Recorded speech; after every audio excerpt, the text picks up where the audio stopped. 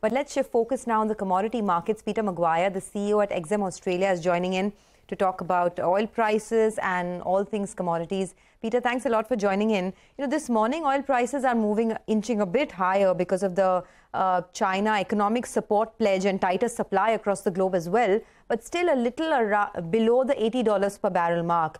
Do you think this could be the pivot, $80 a barrel on Brent for a while, or do you see the range shift a bit?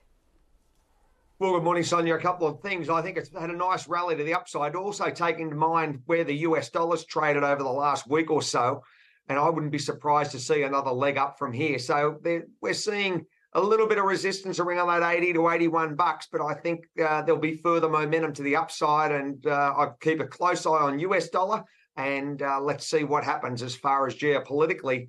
Uh, what's happening across the globe at the moment. So, yeah, I think it's going to be some interesting times ahead for crude oil. Upside risk, uh, Peter. Hope you had a good day out there, uh, you know, in Australia. Uh, you could tell us, but what could that upside be? You see it go back towards ninety dollars? Well, might just well do, Nigel. I'm not suggesting you're going to be there soon, but I over this uh, summer period in the northern hemisphere, I wouldn't be surprised to take a 90 handle out.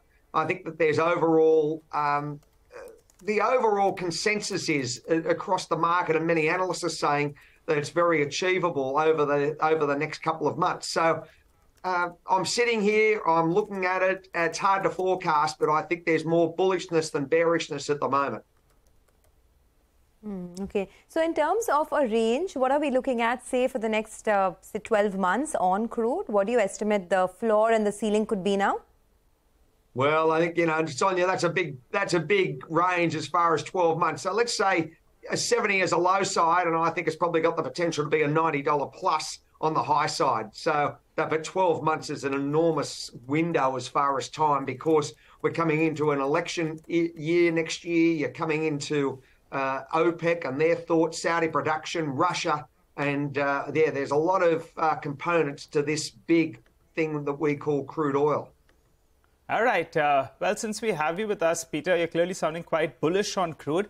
But what about the other metals? What's the preference out there between ferrous and non ferrous? How do you see pricing shape up? And any particular commodity that you're bullish on? Well, I had a look at copper. I'm keeping an eye on that, and naturally some of the you know the base metals. Uh, I I just think that it's come back a little bit. We've given up some of that hot air from 8,800 back to about 8,700. So, oh, 8,400, I should say. So some of that's come off. A couple of the other metals are interesting to note. I'm keeping a close eye naturally as an Australian on on uh, iron ore.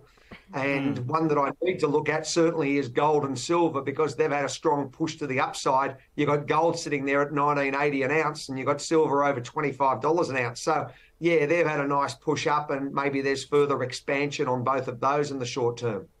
So copper and precious metals, both of them could, uh, you know, is something that you're a little bit more optimistic on. But Peter, what are you building in with regard to China? Everyone's talking about a stimulus. Do you think a stimulus is coming? And uh, if yes, any kind of quantum that we should be looking at? Well, I can't put a number on it, but I th- certainly think, Nigel, that there will be stimulus, and I think it'll be quite aggressive. So it'll it'll help their market, it'll help internal demand, it'll help the overall picture across mm. China. So there's the first part of it. The second part is you probably see more consumption. You need to see stronger consumption externally, you know, across the world to buy those finished goods. But there could be a very big push to the upside as far as internal demand. And uh, we all understand, you know, it's a huge growth engine. So it's demand for, it'll be insatiable for commodities. And I think that's probably a good sign for miners and anyone that provides uh, anything to China. Okay, China stimulus perhaps coming. Uh, thanks a lot, Peter, for joining in and uh, giving us updates on the commodity markets. But let's